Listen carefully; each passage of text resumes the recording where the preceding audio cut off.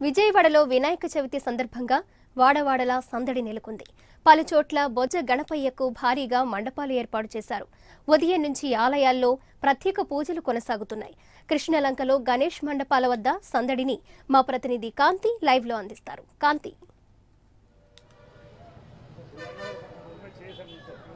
స్వాతి వినాయక చవితి అంటే విఘ్నేశ్వరుడి పుట్టినరోజుని వినాయక చవితిగా జరుపుకుంటూ ఉంటారు. అలాగే ఆది దేవుడైన పార్వతీ పరమేశ్వరుల ప్రథమ పుత్రుడైన వినాయకుడిని పూజించకుండా ఏ పని కూడా హిందువులు ప్రారంభించరు. అలాంటి వినాయక చవితిని వాడవాడలా ఎంతో ఉత్సాహంగా జరుపుకుంటూ ఉంటారు. అలాగే ప్రస్తుతం మనం విజయవాడలోని కృష్ణలంక ఏరియాలో ఉన్నాం. ఇక్కడ సత్యంగారి హోటల్ దగ్గర అంటే మొత్తంగా సిటీలో ఎక్కడ చూసుకున్నా ఉన్న చెప్పుకోదగ్గ విగ్రహాల్లో ఇది ఒకటి. అత్యంత వైభవంగా వినాయక చవితి వేడుకలను ఇక్కడ నిర్వహిస్తూ ఉంటారు. ప్రతి ఏడాదిలాగే ఈ ఏడాది కూడా వినాయక చవితి వేడుకల కోసం అన్ని ఏర్పాట్లని పూజ చే పూ- పూర్తి చేశారు. అయితే మరి కాసేపట్లో పూజ ప్రారంభం కాబోతోంది. అయితే వినాయక చవితికి సంబంధించి ఈ తొమ్మిది రోజుల పాటు కూడా విఘ్న విఘ్నేశ్వరుడికి పూజల్ని అందించి అలాగే ఏదైతే నిమజ్జన కార్యక్రమం కూడా అంతే వైభవంగా జరిపిస్తామని చెప్తున్నారు అలాగే విఘ్నేశ్వరుడికి సంబంధించి ఎవరైనా కూడా ఏ పూజ చేయాలన్నా కూడా విఘ్నేశ్వరుని పూజ చేయకుండా ప్రారంభించరు. కాబట్టి వినాయక చవితిని అందరూ కూడా ఎంతో వైభవంగా జరుపుకుంటూ ఉంటారు. అలాగే ప్రతి ఏడాది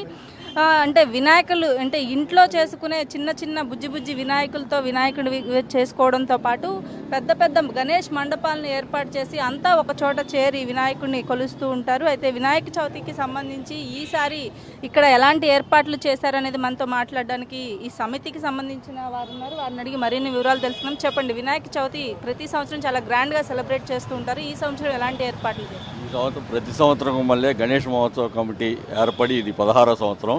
విజయవాడ పట్టణంలోనే అత్యంత భారీగా అత్యంత భక్తి శ్రద్ధలతో విజయవాడ పట్టణంలో కృష్ణలంకలో మేము పదహారు సంవత్సరంలో బాగా ఏర్పాటు చేశాము. ఈ సంవత్సరం పదకొండో రోజు ఇరవై మూడవ తారీఖున పది నుంచి పదిహేను వేల మందికి భోజన ఏర్పాట్లు. పదకొండవ తా ఇరవై మూడవ తారీఖే పదకొండవ రోజు బాజా భజంత్రీలతో స్వామివారి ఊరేగింపు కార్యక్రమం ఉంటుంది. మధ్యలో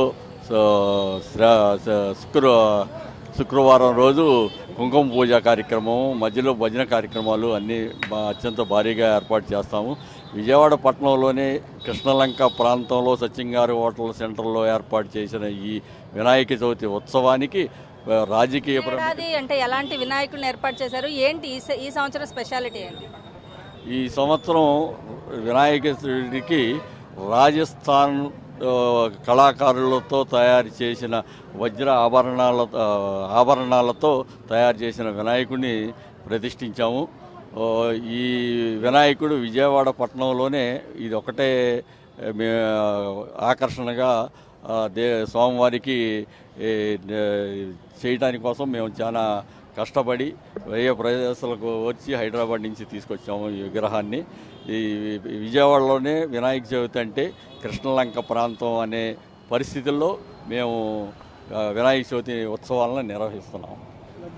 వినాయక చవితి వేడుకలకు సంబంధించి ఎంతో ప్రాముఖ్యత ఉందని ప్రతి ఏడాది పదకొండు రోజుల పాటు ఈ వినాయక చవితి వేడుకలు నిర్వహిస్తామని ఈ ఏడాది కూడా పదకొండు రోజుల పాటు భారీగా వినాయకుడిని పూజించడంతో పాటు అన్నదాన కార్యక్రమాలు కుంకుమార్చనలు కూడా ఏర్పాటు చేశామని చెప్తున్నారు. అలాగే ప్రధాన ఆకర్షణగా లడ్డూని కూడా ఇక్కడ ఉండబోతుంది. లడ్డు లడ్డూని కూడా అంటే పూజ అనంతరం పదకొండు రోజుల అనంతరం లడ్డూ పంచే కార్యక్రమం కూడా ఉంటుందని చెప్తున్నారు. అది కృష్ణలంకలోని వినాయక చవితి వేడుకల పరిస్థితి